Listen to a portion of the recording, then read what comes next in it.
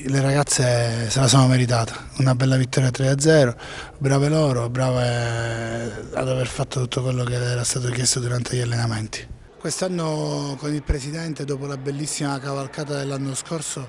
ci siamo guardati e abbiamo pensato di ripartire formando uno zoccolo duro di giovani per poter eh, poi innestare un paio di atlete più esperti e cercare di fare il salto, ma con uno zoccolo duro che sia quello nostro su cui poter lavorare più costantemente e più assiduamente. Ripeto, il nostro campionato è diverso da quello dell'anno scorso, sì è vero, però ci prefiggiamo di dare fastidio a qualcuno che, che sia nei piani alti della classifica.